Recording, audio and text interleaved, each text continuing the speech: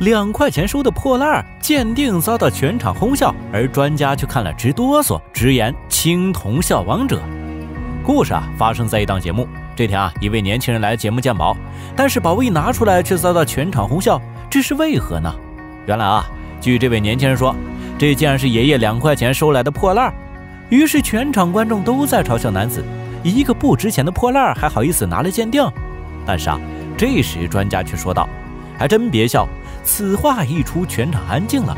难道这个破烂还能带有来头？没想到接下来专家的话更是吓傻了众人。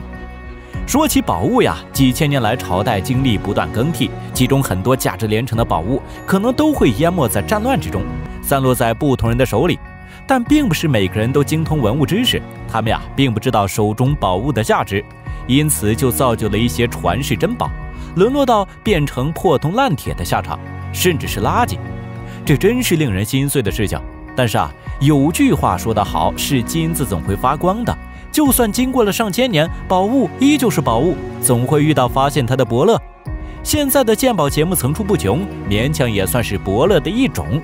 虽然是个综艺啊，但不能否认的是，它让很多传世珍宝出现在了大家眼前，让我们又再次见证了历史文物以及古人那高超的工艺水准和文化生活。今日我们要说的故事就发生在一档鉴宝节目。这天啊，节目来了一位小伙，一上台他就说道。大家好，今天我带来了一个东西，想让咱们这边的专家给鉴定一下。但是主持人却看到小伙两手空空，于是就疑惑地问道：“你好，你这要鉴定的东西呢？别藏着了，来给大家展示一下。”这时啊，只见小伙从兜里拿出来个东西，是个玉管。这样的场景惹得全场哄堂大笑。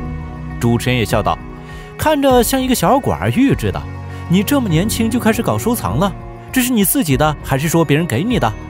小伙回答道：“我不懂收藏，家里人也不太懂。其实啊，这个是我爷爷给我的，是他收破烂收来的，当时只花了两块钱。”什么？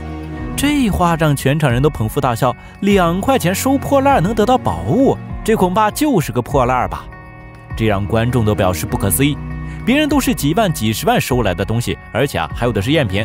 你这几块钱的东西还好意思拿出来，真是笑话。这时啊。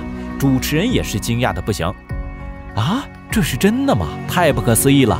你这可是头一个说自己的宝物是收破烂得来的呢。此时小伙也是有话说，我也认为这是不可能的事情，一开始啊也不愿意来的。我觉得这就是个破烂，两块钱的东西怎么会和古董扯上关系呢？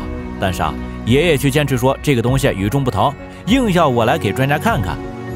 观众们听过小伙子的诉说都笑了，也感觉这个爷爷在做白日梦。专家也笑了，觉得挺有意思，但还是大发善心，决定让小伙子把东西拿过来看看。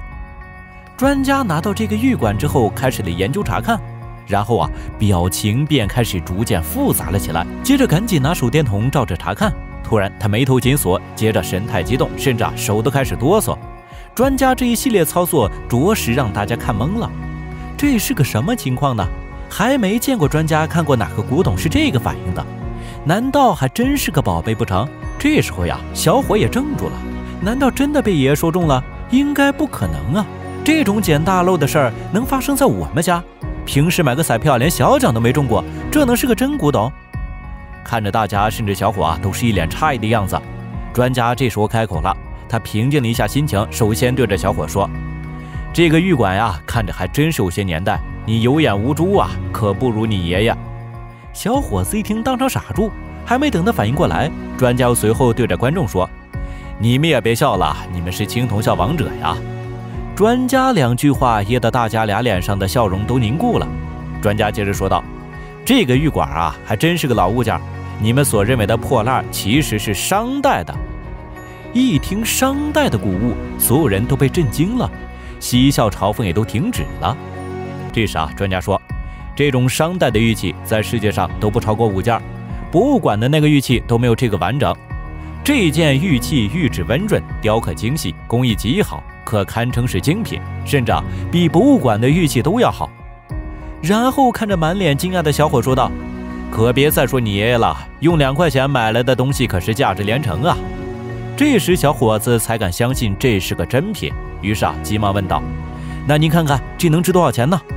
专家想了想，说道：“现在市场上还没有关于这种玉管的估价及拍卖，但是啊，这种极其稀少的古物至少价值五千万。听到这个数字，全场都沸腾了。小伙子更是喜不自胜，没想到爷爷这是金手啊，淘了这么大的宝贝，一下子从青铜蹦到王者，内心更是狂欢的不行，恨不得现在就想见到钱。但是啊，回头想想这件事儿。